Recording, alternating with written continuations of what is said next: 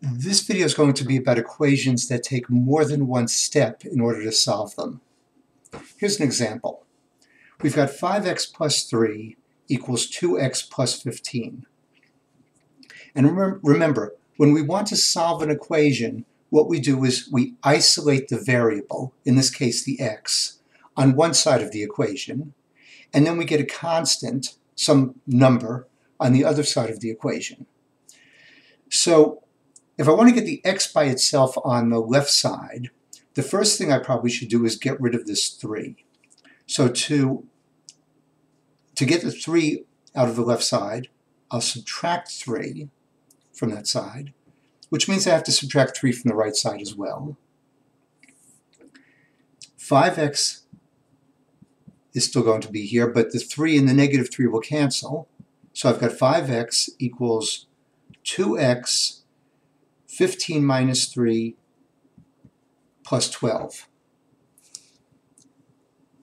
Now I want to get rid of the 2x that's in the right side. So once again I can do that by subtraction. In this case I'll subtract 2x. And of course I'll subtract it from both sides. 5x minus 2x is 3x. The 2x and the negative 2x cancel. So I just have a 12 on the right side. And then this is pretty simple. All I have to do is divide by 3 on both sides. The left side is going to give me just the x. 12 divided by 3 will give me 4. So my answer should be x equals 4. We can check this. I'll rewrite the original problem. 5x plus 3 equals 2x plus 15. And then everywhere where there's an x, I'll put in a 4. So I have 5 times 4 plus 3 equals 2 times 4 plus 15. 5 times 4 is 20, plus 3 is 23. 2 times 4 is 8. 8 plus 15 is also 23. So my answer is correct. Let's look at another one.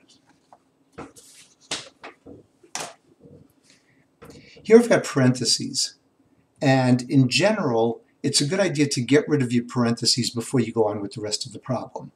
So I'm going to distribute this 3 across the x plus 4. That will give me a 3x plus 12 on the left side. On the right side, I'll also distribute. I'll multiply 2 times 3x will give me 6x. And then 2 times negative 1 will give me negative 2. And I've got this plus 5. So let's simplify the right side by combining the negative 2 and the plus 5. I'll rewrite everything else exactly as it is. So I've got 3x plus 12 equals 6x, and then I've got negative 2 plus 5 will give me a positive 3. I'd like to get rid of this 12 from the left side, so I'll subtract 12, subtract 12. My left side is now just 3x. My right side is 6x. 3 minus 12 is negative 9. Whoops, that should be a 9. I want to get rid of the 6x that's also on the right side, so I'll subtract 6x, subtract 6x. 3x minus 6x is negative 3x. The 6x and the negative 6x on the right side will cancel, and I'll just get a negative 9. And now all I have to do is divide by negative 3 on both sides and I should get my answer. So negative 3 divided by negative 3, these two will cancel, and I'll just have an x. A negative divided by a negative is going to be a positive, so then I've just got 9 divided by 3, and that's 3. Let's check this and make sure the answer is right. So I'll rewrite my problem. 3 times x plus 4 equals 2 times 3x minus 1 plus 5. I'll plug the 3 in everywhere where I see an x. So I've got 3 times 3 plus 4 equals 2 times 3 times 3 minus 1 plus 5.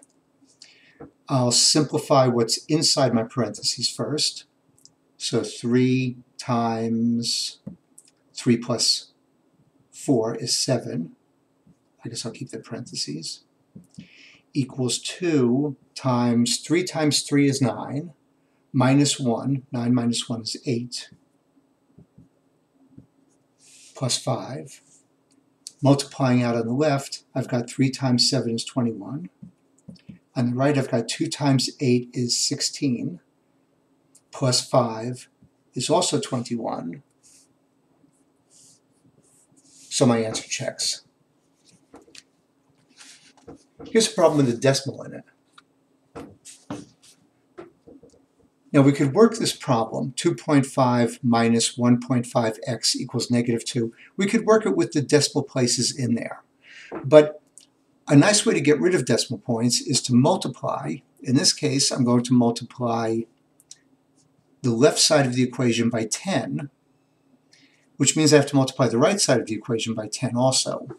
Multiplying 10 times 2.5 is going to turn it into 25. And multiplying the 10 by 1.5 will turn it into a 15. So I've got 25 minus 15x equals negative 2 times 10 is negative 20. Now all I have to do is subtract the 25 from both sides because I want to isolate this x. So minus 25 minus 25. On the left I'll just have a negative 15x equals negative 20 and negative 25 will be negative 45 divide both sides by negative 15. So on the left I've got my x, on the right I've got negative divided by a negative is positive, so I've just got to divide 45 by 15. 45 divided by 15 is 3, so 3 should be my answer. And we could check that. Let's go back to the original. So 2.5 minus 1.5x equals negative 2. Let's plug in a 3 over here where we have the x. So 2.5 minus 1.5 times 3 is negative 2.